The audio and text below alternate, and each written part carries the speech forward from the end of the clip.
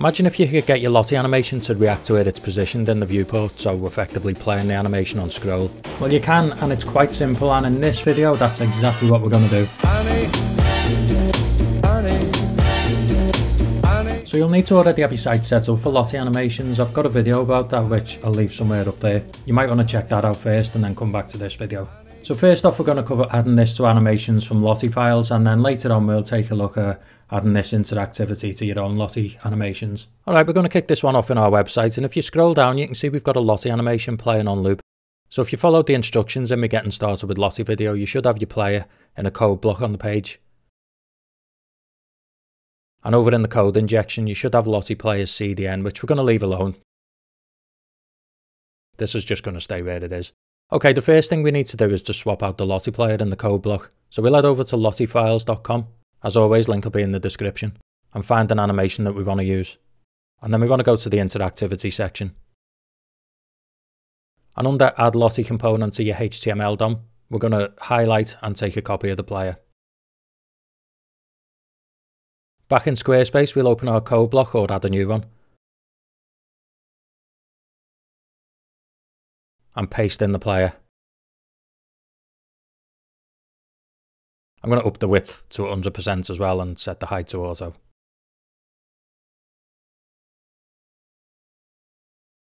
And save. And it shouldn't be working, it should just be a static of the first frame of the animation, which is expected because now we need to set up the interactivity. So back in LottieFiles, we need to get the interactivity library from via CDN.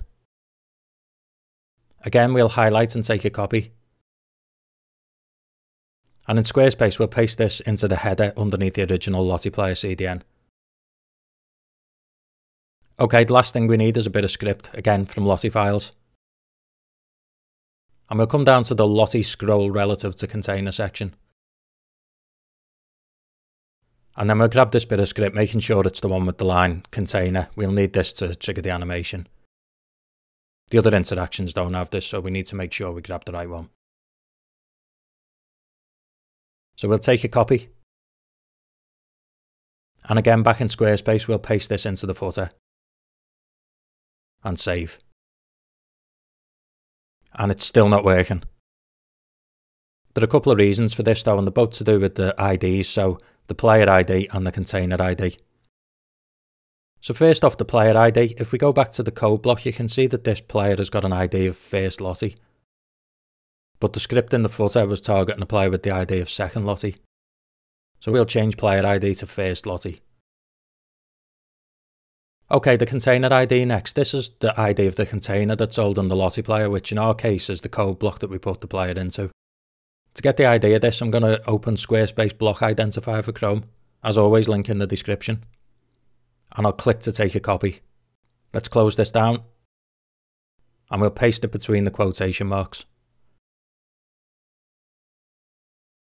and save.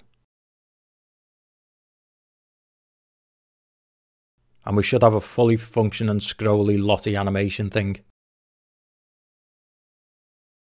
Now if you're using your own animations, it's handy to know how many frames it contains. When we brought the animation in from LottieFiles, it automatically adds the corresponding amount of frames to the script. But let's bring in our own animation and see what happens.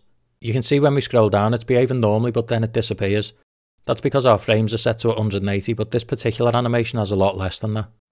I did do quite an extensive bit of research on how to find out the exact number of frames an animation in a JSON file contains.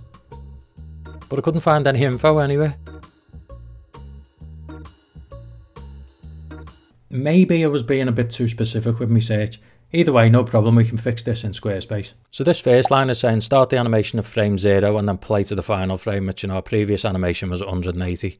So for this one, let's take it down to 120 and save. And it's better, but it's still not quite there. Let's try 70. Near enough, but you can see it still disappears before it leaves the viewport. Let's go with 60.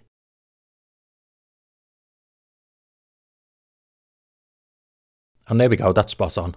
So it's just a case of fine tuning this frame number then to get it right for your animation. And that is about it for this video as always. Thank you ever so much for watching. I hope you found this video useful. If you did, Leave us a thumbs up below if you're not already. Consider subscribing to see more stuff like this. And hopefully I'll see you in the next one. See ya.